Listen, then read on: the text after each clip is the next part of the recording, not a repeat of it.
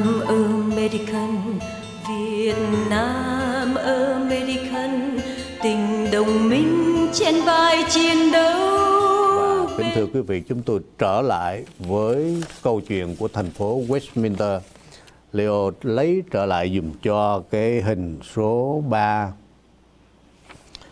Thưa quý vị, Thứ nhất là nhà hàng nộp bản, bốn bản hình mẫu để cho City xét trình bày kế hoạch một cách rõ ràng. Thứ hai là phải dành cho khách đi lại có một cái đường và chỗ ăn uống phải rộng ít nhất là 4 phút và phải đúng tiêu chuẩn dành cho người khuyết tật. Quý vị nhớ những những quy định này nếu như quý vị nghe không kịp thì mở YouTube lên hay là gọi phone đài VNA TV sẽ gửi cho quý vị cái link này để quý vị coi lại cuốn video này. Số 3 không được bán bia rượu và phải đóng cửa vào lúc 11 giờ đêm, 10 giờ đêm. Xin lỗi quý vị nha. Quý vị không được bán rượu ở ngoài trời tại vì cái đó là nó liên quan đến một cái luật khác. Trừ phi quý vị là quán bar thì quý vị có quyền bán đồ ăn ở ngoài hàng hiền còn không phải quán bar, không có license bia rượu. Quý vị không phải là quán bar hiện bây giờ là không được bán. Nhớ nghe uống rượu là quý vị bị phạt đừng có trách người ta. Số 4 số khách ăn ngoài trời không được quá 50% sức chứa trong phòng ăn trong nhà hàng tức là không quá 50% ví dụ như City cho quý vị 40 uh, à, bà 40 người thì quý vị chỉ được hai chục thôi. Hay là 19 thôi hay là cho quý vị 100 thì quý vị 50 thôi.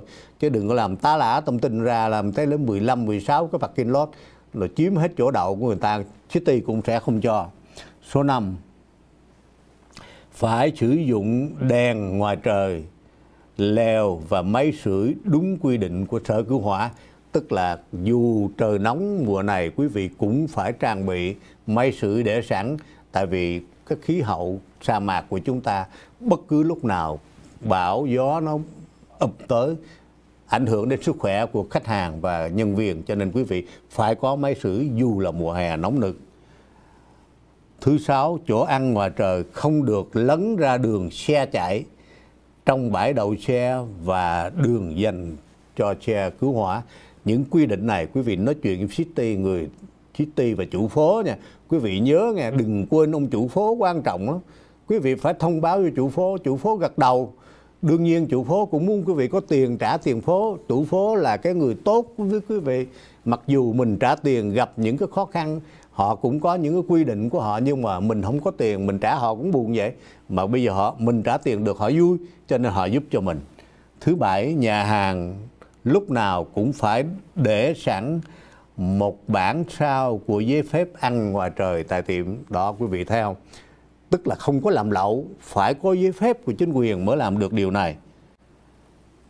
Thành phố cho biết phí làm giấy phép làm chỗ ăn ngoài trời là 160 đồng. Nhớ nha chỉ có 160 đồng chứ đừng có nghe có ai nó ừ, môi giới nó để tôi làm cho tôi lấy 200 mà là 300 đừng có tin mình đi thẳng chứ ti. Bây giờ mình có bốn nghị viên ở đó nói tiếng Việt Nam hết, quý vị không thích người này thì quý vị thích người kia, cứ kêu cho nghị viên nghị viên sẽ giúp cho quý vị. Năm người luôn, cái ông người mẹ đó, ông cũng nói tiếng Việt Nam được, ông cũng giúp cho người Việt Nam mình luôn, quý vị thích ai thì kêu người đó. Và quý vị có thể vô website của Westminster để biết thêm chi tiết thưa quý vị quý vị có thể gọi số phone này ở cái bang mà cấp giấy phép đó, cái số phone này quý vị lấy viết để mà ghi 714 548 3247 714 548 3247 để biết tất cả những chi tiết nộp đơn. Quý vị nhớ nghe đài VNA TV chúng tôi có những tin tức tổng hợp này. Mục đích của chúng tôi là phục vụ cho cộng đồng, phục vụ để chúng ta sống còn. Con virus không giết chết mạng sống của chúng ta chúng ta còn. Nhưng mà còn mà te tua, chúng ta bị ảnh hưởng tất cả mọi ngành nghề. Đài VNA TV của chúng tôi bây giờ chỉ còn vỏn vẹn một ít quảng cáo. Quý vị thương yêu mà quảng cáo chúng tôi thôi chúng tôi chịu đựng chúng tôi đương như tất cả các cơ sở thương mại chúng tôi cũng bị ảnh hưởng. Chúng tôi không than vang chúng tôi cố gắng hoạt động và mục tiêu của chúng tôi là vẫn đồng hành cùng với cộng đồng chúng ta. Quý vị giàu có vinh hiển chúng tôi được nhờ.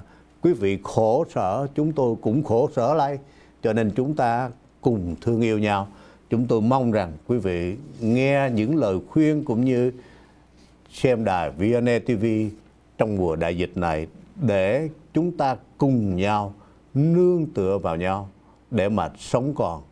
Một lần nữa chúng tôi nhắc nhở quý vị cao niên vẫn chưa thoải mái để chúng ta trở lại cuộc sống bình thường.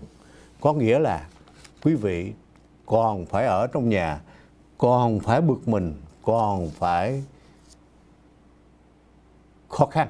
Nhưng hãy tìm những cách để cho chúng ta thoải mái và chịu đựng thế nào rồi đại dịch nó cũng qua thôi kính thưa quý vị, chúng tôi nhân dịp này, chúng tôi cũng loan báo cùng quý vị là chương trình của chúng tôi sẽ cố gắng tìm những phương cách để cho quý vị giải trí.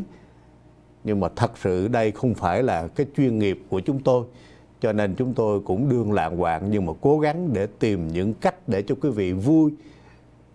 Trong mùa đại dịch bị nhốt ở nhà, chúng tôi rất tiếc là tới đây đã hết giờ rồi. Thân ái chào tạm biệt. Hẹn gặp lại quý vị trong chương trình Good Morning Việt Nam America với chương trình đài đáp lời sông núi phối hợp. Việt Nam American Việt Nam American tình đồng minh